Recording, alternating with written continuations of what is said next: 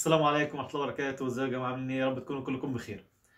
كذا مرة يكون عندك ورق وعايز تعمل له scan وما عندكش سكانر ممكن لو صورته بالموبايل مش هيطلع مظبوط لأن ممكن كاميرا الموبايل ما تبقاش أحسن من السكانر وده طبيعي. النهارده جايب لكم برنامج ممكن تنزله على الموبايل وتعمل scan لأي ورقة عندك وتطلع ممتازة جدا حتى لو باسبور أو أي شيء بدون سكانر بس البرنامج ده يكون عندك هتلاقي كل حاجة بقت سهلة بالنسبة لك. خليكم معانا وادعمونا ب like واشتراك في القناة عشان تشجعونا أكتر. انتظرونا.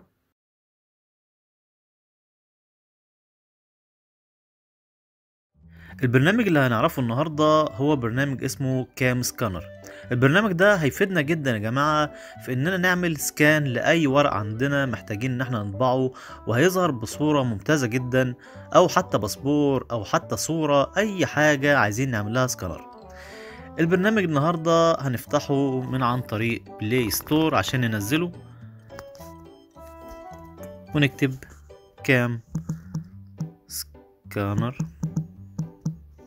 ونعمل search هيطلع قدامنا كده. هو البرنامج الأولاني اللي فوق ده. هتلاقي مكتوب عليه CS طبعا أنا عشان منزله فهو بيقول لي إن أنت منزله already وعايز update بس.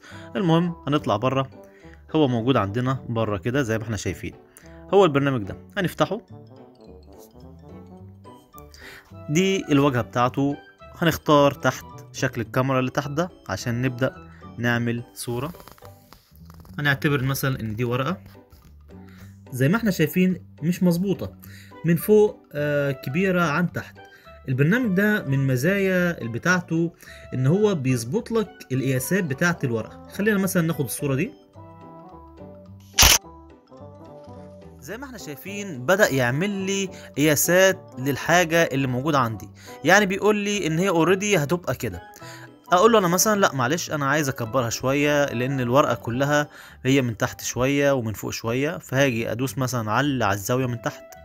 زي, زي ما أنا بدوس على الزاوية تحت بيبدأ يظهر لي من فوق الشكل اللي أنا already شغال عليه علشان يبقى دقيق معايا. بجيبها كده مثلا okay كده أنا ظبطت الحتة اللي تحت وأجي اللي على الشمال ده. احطها كده مثلا بحركها عادي واجي فوق على اليمين اظبطها زي ما أنا شايف وبيكبرها لي على الشمال علشان يقول لي إن دي الاتجاهات بتاعتك وأنت ماشي فين وكل حاجة. طيب أنا كده مثلا عجبني كده. نشوف بقى لما نيجي نعمل next اللي تحت دي. next شايفين؟ ظبطها لي كلها بالقياسات اللي أنا عايزها. علشان ما تبقاش معوجة أو أي حاجة. طبعا آه لازم ناخد في الحسبان إن دي آه حاجة مش ورقة يعني ساعات ما بتكونش مظبوطة قوي طبعا لو عايزين نعمل scan لورقة لازم نحطها كده في مكان كويس ومفرودة وبعد كده نصورها.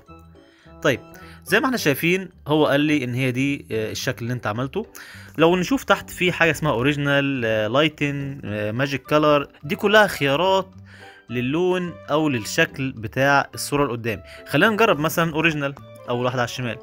original دي اللي هو بيقول لي إن ده الشكل الطبيعي بتاع الاسكانر الصورة اللي عندك. طيب إحنا دايما بنشتغل على تاني واحدة اللي هي lighten دي بتبقى أوضح شوية وبيعمل لي دقة أكتر في الشكل بتاع الورقة. طيب أنا مثلا عجبتني lighten طب افرض أنا مثلا عايز أظبط فيها شوية. في عندي آه تحت back ده طبعا ده اللي هو بيرجعني ورا عشان أبدأ أعمل لها edit تاني. left اللي جنبها دي بيبدأ يحول لي الصورة لو أنا مثلا واخدها مثلا معوجة يمين شمال آه اللي بعدها دي ما نستعملهاش. آه modify اللي بعدها بندوس عليها. بيبدأ يجيب لي خيارات اللي هو contrast ازود بنقص زي ما أنا شايف براحتي بعملها. brightness مثلا زي ما أنا شايف برضو. آه بعد كده ال details طبعا ده بيغمقها لي بيفتحها لي. أنا أخليها زي ما هي أحسن. طيب okay أنا خلصت كده. أروح أعمل سيف اللي جنبها.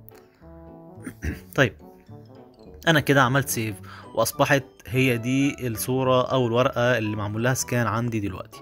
طيب دلوقتي أنا أصبحت عندي على الموبايل. أنا عايز بقى أبعتها على الإيميل أبعتها على الواتساب أو اسيفها عندي آه على الموبايل عشان أستخدمها بعد كده. كل الخيارات دي موجودة عندي فوق.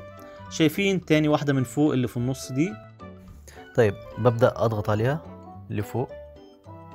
بلاقي جايب لي كذا خيار. في عندك عبارة عن آه، تسييفة بي دي اف أو جي بي جي اللي هي image على هيئة صورة. طبعا أنا بنصح الناس لو هم عايزين آه، يستعملوها كورقة وتبقى واضحة جدا عن طريق ال PDF يا جماعة. لو هي كصورة هتبقى ال image طبعا اللي جنبها دي بتبقى أحسن للصور. طيب خلينا نجرب ونشوف هتعمل إيه ال PDF أو ال image لو دوسنا على ال PDF هتلاقي جايب لك كلمة share فوق. طيب ندوس عليها. هتلاقيه بيقول لك لو عايز تبعتها على الإيميل لو عايز تبعتها على الواتساب على الجيميل على أي حاجة عن طريق PDF طيب خلينا نرجع تاني ونجرب ال image طيب لو حبيت أختار ال image مثلا هتلاقيه جاب لي بقى خيارات تانية برضو بس نفس الخيارات بس الفرق إن في حاجة زيادة اسمها save to gallery save to gallery دي بت save لك الصورة آه، في ال- الجاليري عندك اللي هو المكان بتاع الصور كلها. دي بتبقى كويسة بحيث إن أنت ممكن لو عايز تبعتها لأي حد بعد كده تبعتها على الواتساب أو ترفعها على الإيميل بيبقى متخزنه عندك. دي الميزة في آه، اللي هو آه، الجاليري أو ال picture تمام؟ كده يبقى إحنا عندنا ال PDF وال image الاثنين دول هما اللي بنستخدمهم في حفظ الصورة. أتمنى يكون الفيديو عجبكم يا جماعة واستفدتوا بيه وفعلا برنامج ممتاز جدا و free يا جماعة موجود. يا ريت تدعموني ب like واشتراك في القناة. والسلام عليكم ورحمة الله وبركاته.